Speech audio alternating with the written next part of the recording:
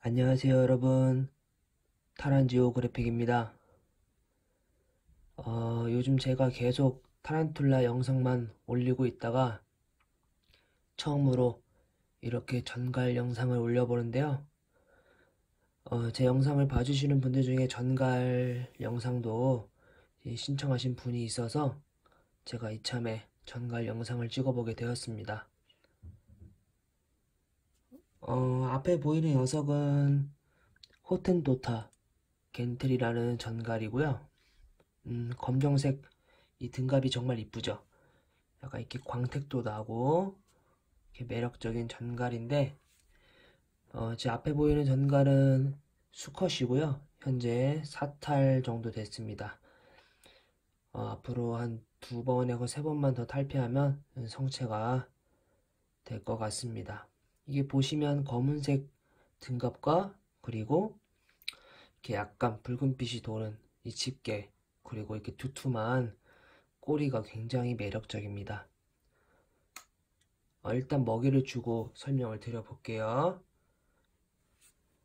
자, 이 앞에 보이는 전갈은 어, 건개형 전갈이라고 해서 독침을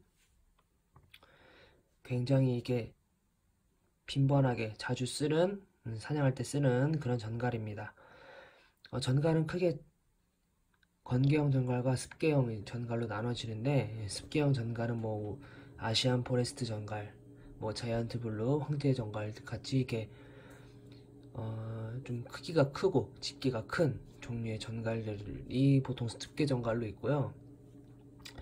이런 건계 전갈들은 이제 뭐 앞에 보이는 Hottentotta gentili 그리고 뭐 Yellow Fattail, 뭐 South African Thicktail처럼 약간 좀 집게가 얇고 꼬리가 굵은 특징이 있습니다. 독침으로 사냥을 하는데요. 일단 좀 먹이를 줘볼게요. 어, 어, 보셨어요? 바로 독침으로 사냥해버리죠? 야, 엄청 빠릅니다. 제가 먹이를 일주일에 한 번 주는데 잘 먹어줍니다. 자, 이 호텐토타 겐트리는 이렇게 보시면 등갑이 정말 이 검정색이 이뻐요. 응. 이쁘죠? 잠깐만요. 이렇게 등갑이 이쁩니다. 아, 이제 좀만 더 크면 암컷을 좀 구해봐야겠어요. 암컷을 구해가지고 메이팅을 해줄까 좀 생각을 하고 있습니다. 이 호텐토타 겐트는 제가 이 아는 지인분한테 선물로 받은 개체고요. 어 그분이 전가를 좀 전문으로 사육을 하시는 분이에요. 그래가지고 제가 이렇게 선물 건강한 전가를 선물로 받았습니다. 자 보시면 자, 이 호텐토타 겐트리는 지금 현재 앞에 보이는 거는 크기는 한 꼬리를 다 피면은 한 몇 센치지? 한 피면 한 6cm 정도 될 것 같고요. 다 크면은 7cm에서 11cm 사이로 크는 음, 그 정도 크기를 가지고 있습니다. 서식지는 뭐 제가 찾아본 정보로는 알제리 그리고 모로코에 서식한다고 하고요. 어, 좀 건개형 전갈이다 보니까 좀 건조한 환경을 필요로 합니다.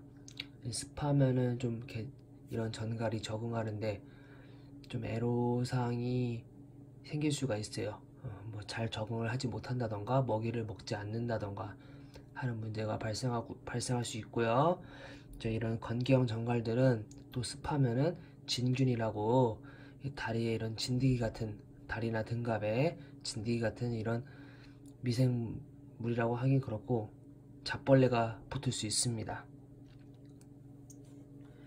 자 그리고 이런 건경 정갈들은 어떻게 사육을 하느냐 어, 수분을 보충을 해줘야 되잖아요 수분을 보충을 해줘야 되는데 자 보시면 뭐 솜, 솜에다가 그냥 이렇게 물 묻혀 주시는 분들도 있고 뭐 스펀지에 물을 이렇게 부, 물을 넣어서 주시는 분들도 있는데 저 같은 경우는 이렇게 물뚜껑에다가 물뚜껑에다가 물을 받아서 이 부분만 이렇게 수분을 보충해 줍니다. 그러면 안에 습도도 어느 정도 유지도 좀 되고요. 뭐 유, 지라고 해봤자 막 많이 습해지진 않아요. 제 뚜껑을 환기구를 많이 만들어 놓기 때문에 많이 습해지진 않고 좀 어느 정도 습도를 유지합니다. 자 그러고 음, 이런 전갈이 수분을 필요로 할 때 와서 수분을 섭취하기도 합니다. 어, 사육장은 크진 않아요. 음, 사육장은 크진 않고요. 이렇게 좀 조금은 작은 공간인데 이런 공간에서 좀 전갈이 좀 안락함을 느낄 수 있게 키우고 있습니다. 오늘은 이 겐트리에 대해서 간단히 정보를 알아봤고요. 어, 사실은 제가 좀 가지고 있는 전갈이 몇 종류가 없어요. 좀 저도 전갈을 키우긴 하는데 완전 전문가적인 그런 입장은 아니라서 좀 이렇게 초보자들이 키울 수 있는 그런 전갈들 위주로 키우고 있습니다. 앞으로 이렇게 유튜브를 하면서 전갈들 하나씩 좀 이렇게 소개해 보도록 하겠습니다. 오늘은 이만 영상 마칠게요. 모두 즐거운 주말 보내세요. 안녕.